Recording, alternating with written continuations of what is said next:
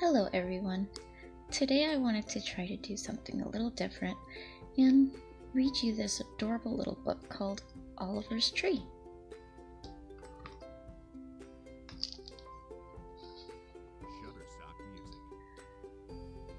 Once there were three friends Lulu, Oliver, Charlie.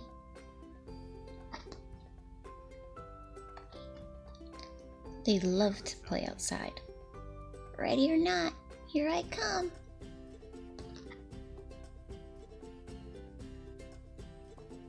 Oliver spotted Lulu. He jumped and he jumped, but he couldn't reach her. That's not fair. Trees are out of bounds. But trees are the best hiding spots. Not all trees are the same. We'll find a tree you can play in too.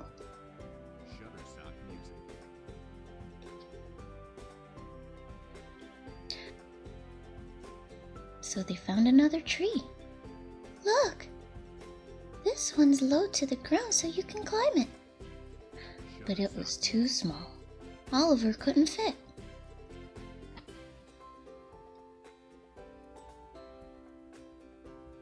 So they found another tree. Try this one. The branches are bigger. But it was too tall. Oliver still couldn't reach his friends. So they found one more tree. Perfect! We can help you up. And it was just right. Until. Crash!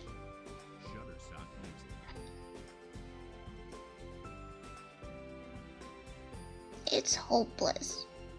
Elephants just don't belong in trees.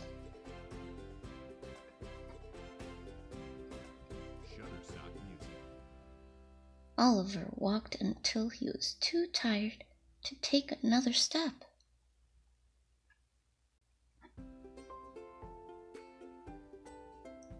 When Lulu and Charlie found him, Oliver was fast asleep. Poor Oliver. He's so sad. I wish we could help him. I have a plan.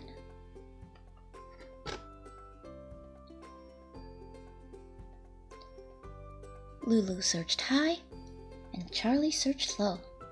They gathered sticks and moss and paws full of leaves.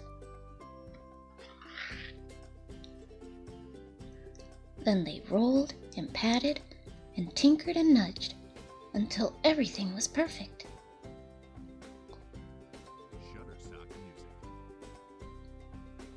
Surprise! They shouted.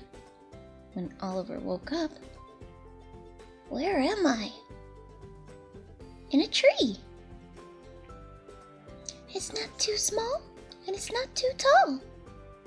It's a treehouse, perfect for all of us. Hooray! This is the best tree in the world.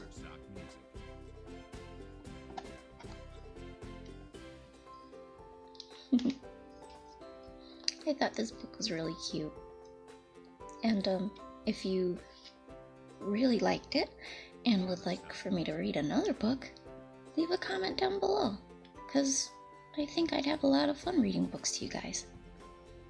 So, um, I'll see you in the next video. Bye bye.